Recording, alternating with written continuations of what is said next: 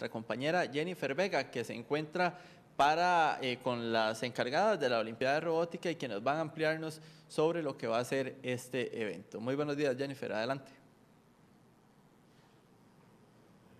Gracias, muy buenos días a todos ustedes, televidentes, radioescuchas y también a nuestro compañero David. Pues sí, nos encontramos aquí en Parque Viva y es que estamos en un evento de muchísima importancia a nivel nacional como internacional y es que es la Olimpiada Mundial de Robótica acá en nuestro país. Arranca hoy y finaliza hasta el próximo domingo. Me encuentro justamente con Francisco Molina que nos va a ampliar un poco del evento, ¿verdad? ¿En qué consiste? ¿Cómo eh, se distribuyen las categorías, quiénes participan y es que uno de los datos muy importantes también es que participan muchachos o niños desde los 8, 10 años hasta 25 años de edad. Muy buenos días.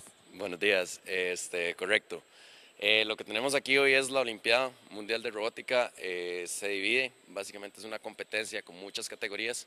Tenemos desde categorías regular, que es la más eh, común y la más famosa, por así decirlo, en donde a los chicos se les pone un reto y trabajan este reto durante todo el año en equipos de dos, tres estudiantes para venir y prepararse primero para la nacional y clasificar a la mundial.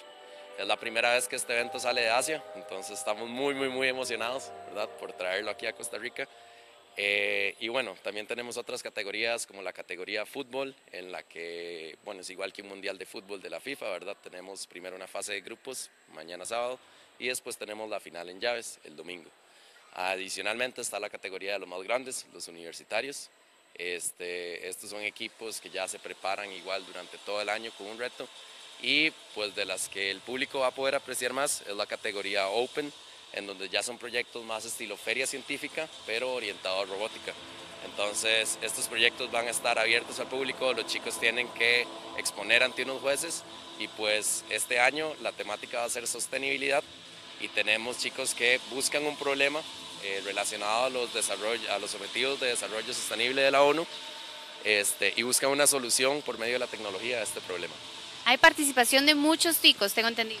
Sí, sí, tenemos bastantes ticos al ser este, pues, sede de la Olimpiada Mundial, tenemos este, varios campos reservados y pues la Nacional fue un evento bastante grande, para ha sido el más grande a nivel nacional y por ende esperamos tener una buena participación y la mejor delegación que hemos tenido a través de la historia.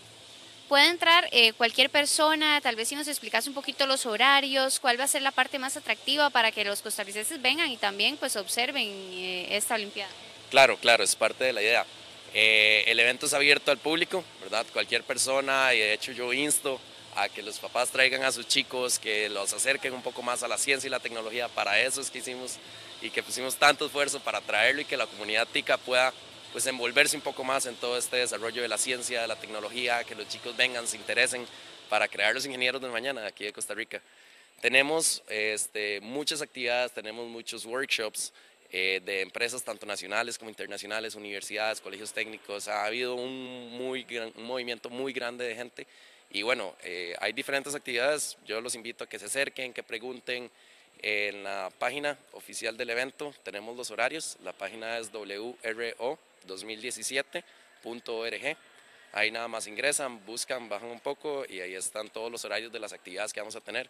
Recordamos, es abierto al público, pueden venir tanto a ver las exposiciones de los, de los chicos, de los participantes, en el caso de la categoría Open, como las diferentes exposiciones de compañías como Lego, este, tenemos incluso la Universidad de Nueva York, tenemos un montón de, un montón de instituciones que vienen precisamente porque es un mundial de robótica, ¿verdad? Ahorita lo que están haciendo es eh, montaje, ¿verdad? Acá todavía, no, han, no han arrancado, están preparándose. Ok, el día viernes es cuando ya llegan las delegaciones de todo el mundo. Entonces, en el caso de la categoría Open, ellos tienen que montar sus proyectos, tienen que, hay proyectos que traen peces, hay proyectos que traen plantas, eh, etcétera. Tienen que montar muchas cosas. Para eso se deja todo el día viernes. Y bueno, en el caso de las categorías que usan una mesa, eh, se usa para práctica, para que los chicos puedan venir, este, calibrar su robot, etcétera, hacer pruebas, ¿verdad? Y prepararse de la mejor forma para que el día, para el día de mañana, este, pues competir de la mejor forma posible. Muchísimas gracias Francisco Molina, quien nos ayudaba con esta entrevista. Ya sabe, todos quedan invitados, son 66 países aproximadamente los que van a participar de esta Olimpiada Mundial de Robótica. Vuelvo con usted, David.